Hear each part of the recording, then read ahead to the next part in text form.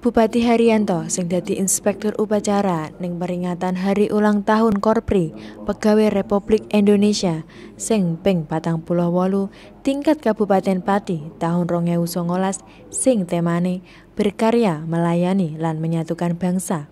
Upacara dilaksanakake ning alun-alun Pati Jumat esok. Mau sakit teks pidato tertulis sambutan Presiden Republik Indonesia Insinyur Haji Joko Widodo sing ngucapake selamat ulang tahun kanggo para anggota Korpri sing ana ning daerah ngendi wae kayata ana ing Indonesia utawa perwakilan Republik Indonesia ing mancanagara.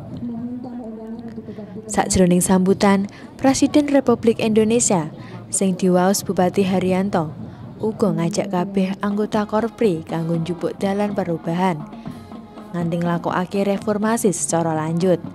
Ora ana pola pikir lawas, ora ana kerja linier lan ora ana kerja rutinitas.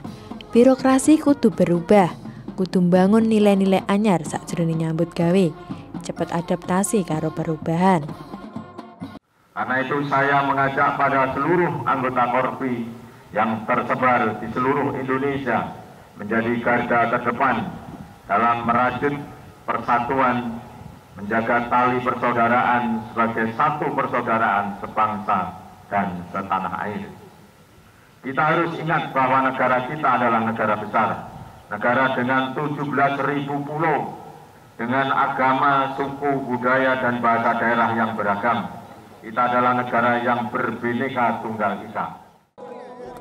Sakwise mau sakit teks pidato sambutan Presiden Bupati Haryanto uga mratelake amanat kanggo para paserta kanggo introspeksi tugas sing turun dimaksimalake.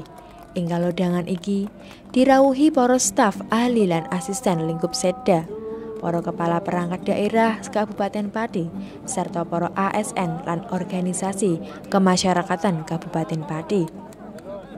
Tim Liputan Cahaya TV